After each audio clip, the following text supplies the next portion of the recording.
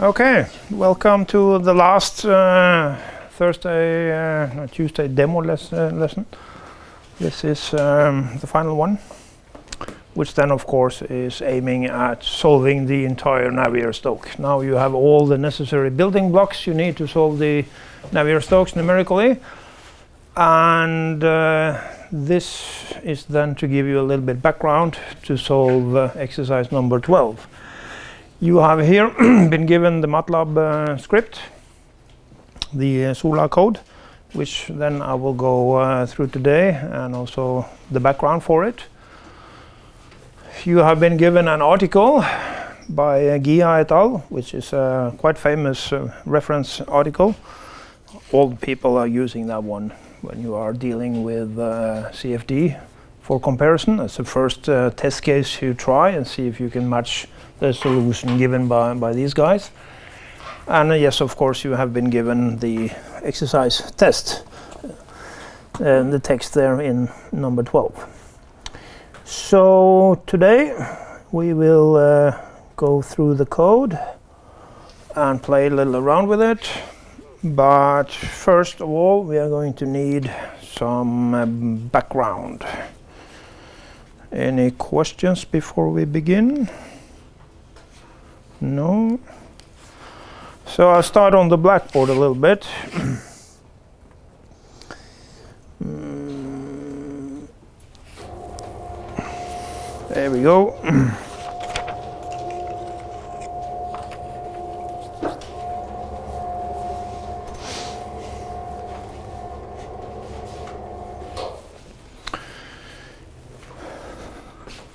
How to solve the Navier-Stokes. The problem here, it's uh, Navier-Stokes, it's two-dimensional, it's transient, laminar. Of course laminar. If it's turbulent, then you're going to need a turbulence model or solve it down to all the turbulence scales, which uh, is a very heavy task. So this is our problem. Only two-dimensional Cartesian, but uh, transient, depending on time. So we can have the time development uh, as well, if we like. How to solve it? We use what is called a projection method.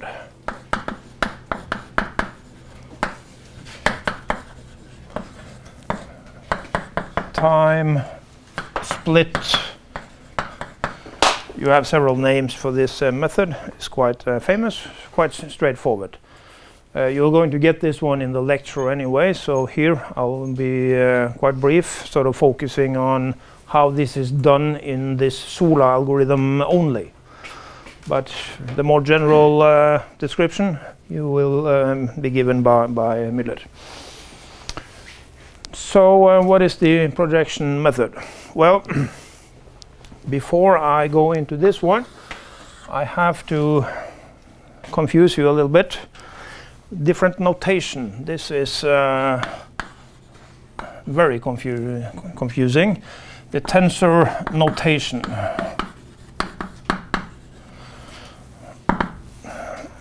With a tensor, you use indexes. And typically there you will use i and j. So, for instance, uh, say um, ui. Now i, the index i, does not mean the point in the x uh, direction as we normally would with, uh, with the discrete uh, formulas. Now i means either 1, 2 or 3 or if you like x, y or z. It's just one component. And if you have uh, this one, um, say a term looking like this, like that, the ui, the xi, well, the x, that's not the x direction necessarily, depending on the index, 1, 2, or 3, if it's x, y, or z direction. But this is uh, typically a standard notation. And here I now have a term where I have the same indexes. That means automatically sum of all uh, uh, combinations when these two are equal. So this actually means in Cartesian coordinates du dx plus dv dy plus dw dz since I have the same index uh, which then is of course the same as uh, the divergence of the velocity field. And just to confuse you even further, you have other tensor notations. They'll write it like this, i comma i. Everything after the comma should be derivative. So uh, ui comma i is actually the divergence. So here you can write partial differential equations extremely compact. Impossible for normal people to read it not to mention start uh, dealing with the algebra on that form. That's very heavy indeed. But you risk meeting this tensor notation in, uh, in several uh, textbooks. So it's widely used. But now don't um, be, be uh, scared if you sort of get confused here. I and J, are they indexes for a numerical scheme or are they tensor indexes? So uh, here I'm going to use both just to be nasty for you. So let's try. the Navier-Stokes, Navier-Stokes, and then I pick the I component of the Navier-Stokes. How does it uh, look? Well, the I component, then I start with ui and then time derivative. Then we have the convective terms, ud, udx, and all these guys. They uh, I can write on this form, uj, and then derivative of ui dxj. Here, a term with common uh, index, sum over all possible j's. So this will be du, and then a u dx, and then another du, but now v dy, and finally u, and then uh, w dz. So there you have all three convective terms. On the other side, 1 over the density and the pressure gradient in the i direction.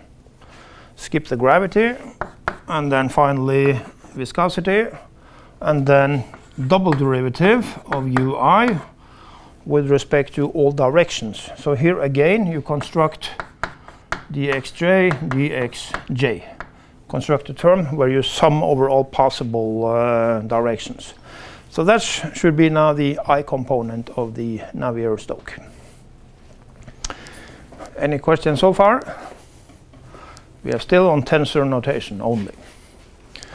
Uh, for the uh, convective term, these guys, here they are written on the form velocity in front of them and then a derivative. Normally people would like to have what's called then a conservative form. So you can rewrite it uj dui dxj to be on the form derivative in front. How can you do that? Well, if you just do it crudely, are these two equal? Well, not at first glance, but uh, actually they, they are. If you use the chain rule, take one of them uh, on the outside, ui on the outside, and then what's left, do dujxj, and then switch, uj outside, dui dxj. and this one is zero for incompressible flow. That's the divergence of the velocity field. That's what I have here. Whether it's uh, I or J, that doesn't matter people using uh, K, L, M, N, a lot of different uh, indexes, so that doesn't matter. So this one is a zero because the divergence of the velocity field here is a zero. We are focusing on incompressible flow. And uh, the way it's been done in Sola, it's actually on this form. So uh, you can rewrite the convective terms using the continuity equation. So it's not on this form, it's on this form. Not that it matters, we are not going to uh, go into the details there anyway, but you should be, be aware of it. Then write the equation on a non-dimensional form. That's also a standard classic trick when you are fighting with a partial differential equation, non-dimensional form.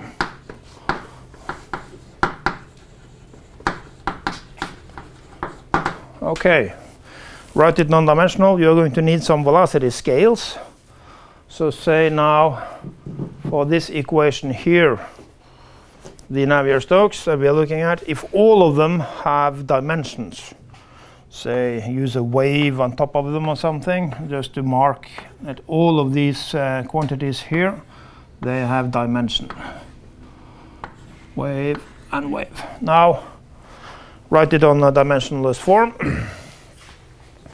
so the velocities, u, v, will now be uh, the one with dimension and then we invent some velocity scale, u. And uh, same goes with the distance. We are going to need a length scale of L. Pressure, how can we scale the pressure? You use a pressure well, since uh, the, the flow here is incompressible, density is constant, and then we just divide by rho, and then velocity scale squared. That should give a non-dimensional pressure. And finally, you're going to need time. We don't have a time scale here in this problem, or in this setup, so we have to invent one that can easily be done with the velocity and the length. Here you have meters per second, divide by meters, then you have something with per second. So that should be the time scale. Uh, simple algebra now. You just insert all the quantities with dimensions to be now a non-dimensional form. And what will you obtain? Well, you get actually exactly what I started with, more or less. ddxj ui equals, and then the pressure now only reads dpdxi. The density has disappeared. And then the viscosity, and should be no surprise, here you will now have 1 over the Reynolds number in front of the viscous terms.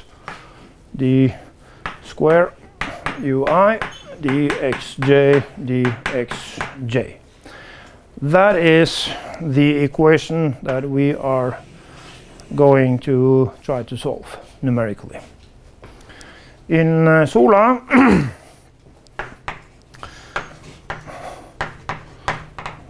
SOLA stands for a solution algorithm. Very simple algorithm actually, founded in um, Los Alamos in the same 70s by Hirt, Nichols and Romero. It's quite famous code actually, free to use. And it's the shortest Navier-Stokes solver I've been able to find. Only a couple of pages, so not a big deal. In Sola, it's been programmed like this, U equals 1, L equals 1. So uh, you don't see any of these uh, scales. So you just have to be aware if you want to take the results and later translate it to real numbers with dimensions. Okay, then you have to play around with scales, have to be aware that the pressure you uh, obtain from the Sola is actually the real pressure divided by the density and so on. So we have done it uh, fairly, fairly easy. Okay, solve this equation numerically. And uh, how do we solve it? We use the standard schemes, forward, time, central, space. So first order uh, Euler step in time, and then central space differencing for uh, all the other terms. Now I have to start mixing uh, with the notation. Here it's a tensor notation, so don't con be confused now. Then I only look at this term. Discretize that one only. First order Euler scheme. So then I will write something like this. U, I, and now that's the I component of the Navier-Stokes, but the superscript n plus 1, that means the new uh, velocity. Then minus the old one divided by delta t and then I write it on the form equal to. So I throw everything on the other side. You will have the pressure dp dx i minus convective terms dxj of ui uj and finally, viscous term, 1 over Reynolds number, double derivative. dxj, dxj, there you have it. According to the standard formula for Euler, forward time, the entire right-hand side should be old values. All of these should be old. Velocity, time level, n, n, n, and the pressure, n. And there actually you see the problem. You, yes, this is now an explicit uh, formula for finding the new velocity if you know everything at time level n. Uh, yes, that's true, but how can we update the pressure? We don't have an equation saying time derivative of pressure equals anything.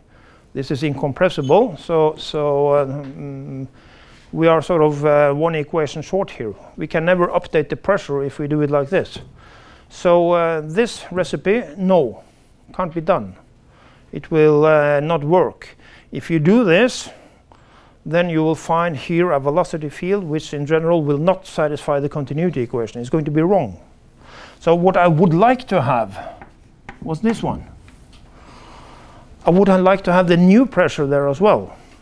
But sadly, now this one is implicit. I have one equation here with two unknowns. This is not possible. Okay, what is possible? Well, we use the old pressure anyway. Since uh, as, as the first guess, we have no really have no choice. But then I have to admit that the velocity uh, that I find, it's not the correct one. It's not n plus 1. It's uh, what we call a tentative velocity field, sort of a half step. It's time split, so this is now the first step. Calculate uh, the tentative velocity field based on the old pressure. So here it will be minus n, uh, p to the power of uh, p superscript n. But the other term will be exactly the same. So that's the only difference. And that equation is fairly easy to, to uh, deal with. That one is explicit given everything on time level n, you can easily find the u star, the tentative velocity field. It's not correct, but it's a first step towards a better and new solution. So uh, we are still lost of one equation here. So how can we uh, find the correct one? Subtract these two equations. Take the top minus the bottom. What do you get? Well, you will have uh, ui n plus 1 minus u star over delta t equals, what do you get on the other side? Well, these terms, acceleration terms, viscous terms, they will disappear because they are the same. So it's only the pressure that uh, survives. So what do we get here? Something called uh, minus, what will it be? xi derivative of actually the pressure difference. The new pressure minus the old one. There you have it. It still doesn't help. I'm left with one equation here and two unknowns. So it doesn't really help. Somewhere along the line here you have to use another equation. Which one? Of course, you use the continuity. Take the divergence of this equation here. So you use an operator on it, d dxi on the entire equation. What are you left with? Well, you will have on the uh, left hand side 1 over delta t and then you will have um, what will it be dui n plus 1 dxi minus dui star dxi and then on the other side minus double derivative dxi dxi of the pressure difference. And then you can use the continuity equation. You can't really tell anything about this tentative velocity field. That's the fictitious velocity, it's not real. But we know something about the new unknown velocity. One thing is for sure, he's going to satisfy the continuity equation. There we can get rid of him. So he disappears since divergence of the velocity field is going to be zero. Then we are left with now one equation with one unknown, the new pressure. And as you can see, it's actually a Poisson equation for the unknown pressure. You have the double derivative equal to something that is now familiar. You so you have to calculate this u star first. So you can rewrite this equation if you like. Nabla square of the pressure difference equals, and what do you have on the other side? You have 1 over the time step, and then the divergence of this tentative velocity field. There you have it. so what will the algorithm be? First step, you can calculate the, uh, the u star, the tentative velocity field. So this one, that is the first step. Uh, let's write that one up here. Projection method.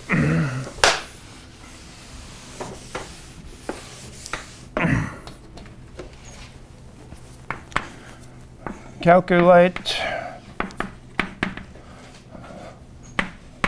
U star. That's the first step. When you know U star, can be found explicit from this uh, formula. You know everything from time level n. Then solving this one, that should be the second step. Find the new pressure.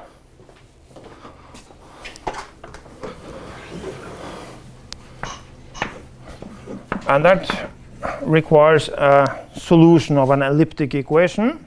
So that one has to be solved for p n plus 1. And then the final step, having found the new pressure, then it should be possible to find the new uh, velocity. And then we use this equation down here. The difference between n plus 1 and star. So uh, having found the new pressure, yes, then we can calculate u n plus 1 explicitly.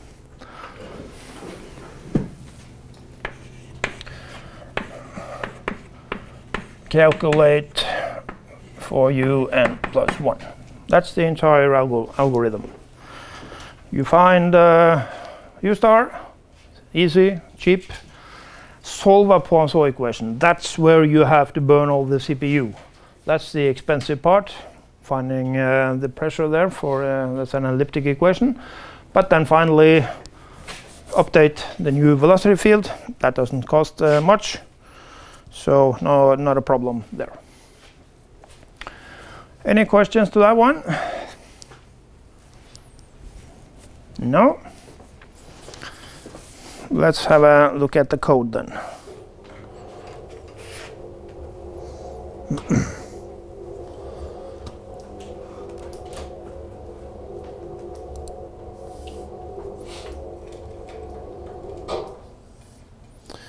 So here is, no, not yet. Not yet, sorry. Mm -mm -mm. There we go.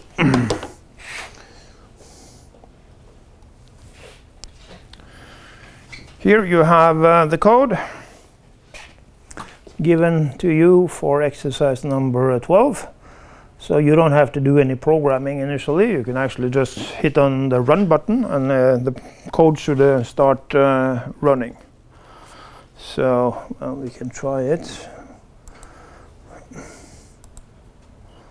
So uh, he's then running and running and running and finally then hopefully produce some sensible results. hopefully. You get five different uh, graphs out of this. Uh, I'll look at this one later. Let's look at uh, the streamline picture. So this is the classical square cavity test case. You have a box one by one. Remember, non-dimensionalized. And at time equals zero, the top wall starts to move with a constant velocity of one. And then due to viscosity, you will then have a big center vortex. And depending on the Reynolds number, you will have some secondary vortices. Here, Reynolds number 1000, you should have three down in the corners here and also one up here somewhere. It's too small to even see. Um, so that is the standard uh, test case for a square cavity. And here we will only be interested in the steady state situation. It's going to take some time before this one has, has developed, but we have to run all the way to the steady state before we start comparing results. Also what you get here is uh, pressure contours, not so interesting. Low pressure in the center, of course, and then high pressure to the top right. So uh, the problem here, looking at the velocity vectors, the problem is uh, very simple geometrically. So that's why people like it, very easy to set up. But the physics is quite complex actually. So it's a vis viscosity driven uh, flow and the picture uh, can be quite complex actually. so uh, this is the setup Reynolds number 1000. But is it correct and how correct is it and so on and so forth? That's the task for exercise 12. So here I'll go through a little bit of the logic inside the code. you have been given the number of unknowns, 20. That means you have a 20 by 20 internal cells. So uh, 20 by 20 unknowns multiplied with 3 because you have two velocity com components and the pressure. The epsilon, that is the accuracy. Coming back to that one. And then we are solving uh, the uh, Poisson equation for the pressure using an SOR, which you now are familiar with. That means we have to find a decent uh, omega an over relaxation parameter. And here I just do it by simple interpolation. I've done uh, several simulations, um, different unknowns, and then found uh, uh, sort of uh, not the optimum maybe, but a good omega. And then he will now inter interpolate among these values to find a, find a fairly good one. You see the omega values closer and closer to 2, the more unknown you have. It's quite typical. Then the input for this code is actually only the Reynolds number. That's the only single parameter we have in the problem, since we have written it on a non-dimensional form. The velocity scale is 1. Um, okay, length scale is 1. There's only the Reynolds number left. So you specify the Reynolds number as an input. Of course, time, Now that's a big question. How long time do we have to simulate? And then what should the time step be, delta t? Now that is a headache, of course. Now we have to think in terms of stability. So there it's up to you to play around with uh, that number and see if you can make it explode. And uh, trust me, that's fairly easy. Eta max, that is the maximum iterations allowed in the SOR to solve the Poisson equation for the pressure. That's also something you can play around with. Now remember, this is a transient code. So, uh, but here we are interested only in the steady state solution in the end. That means we don't really have to solve the, the uh, Poisson equation correct at every time level, since we are only interested in the steady state. If you are interested in the correct time development of a problem, aha, then this one has to be solved on every time step quite accurately. But if it's only a steady state, ah, then you can uh, cheat this one a little bit and then sort of use time as an iterative dimension. But of course, then you are going probably to need more time steps. Uh, so then this maximum time will not be real but still possible to find a steady state situation that way. H meaning uh, delta x and delta y, so you have the same number of cells in both uh, directions, sort of hard coded in here. This beta, is just a parameter we used uh, in the SOR calculations. And here you define all your variables, u, v, and w.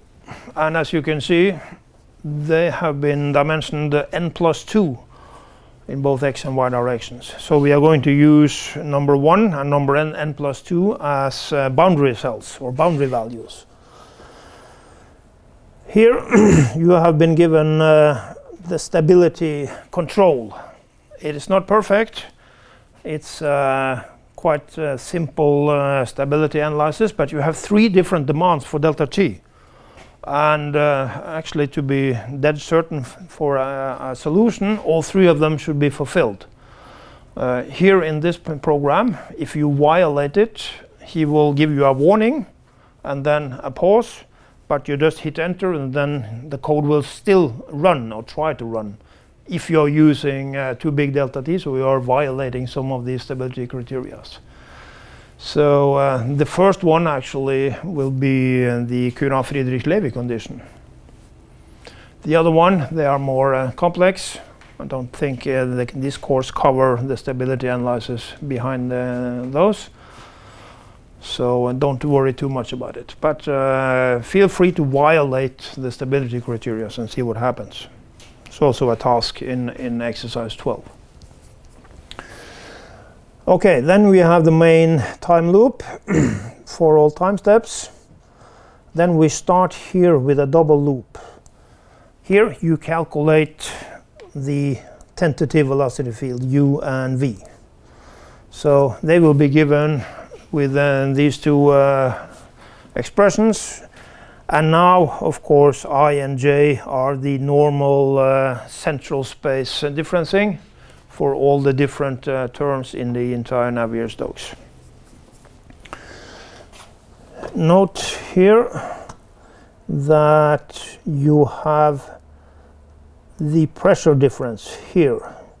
That is a derivative for the pressure in the x direction for u and down here in the y direction for v, but it's based on the old pressure from the previous time step. So u and v here at this point is indeed the tentative velocity field. They will then in general not be fulfilling the continuity equation. So we are only the first step done so far. Then we do a lot of pressure iterations as we call it here that is using an SOR for finding the new pressure. Here they have done it quite elegant. Not only do they update the pressure, but they update the velocity at the same time. That's something new. So uh, it's quite tricky actually to see it that this is an SOR for the Poisson equation.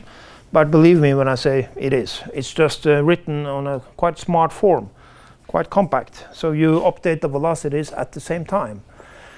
Uh, you started with the u star, this tentative uh, velocity field, but we sort of use these two steps in one single operation. So we are solving this one using the SOR directly at the same time. So I won't go through uh, the details there. Just trust me when I say that is what's uh, been done. Also, what's nice here, you calculate the divergence numerically for every cell, for every single time step, and also here for every iteration. So then you have a physical uh, interpretation of the accuracy here. Normally you would say we solve a Poisson equation and then you will uh, sort of uh, calculate and calculate and calculate until how long? When do you, when are you satisfied? When you do have a solution? Well, you will say like the resist, uh, like the total residual is smaller than some prescribed value, uh, something like that.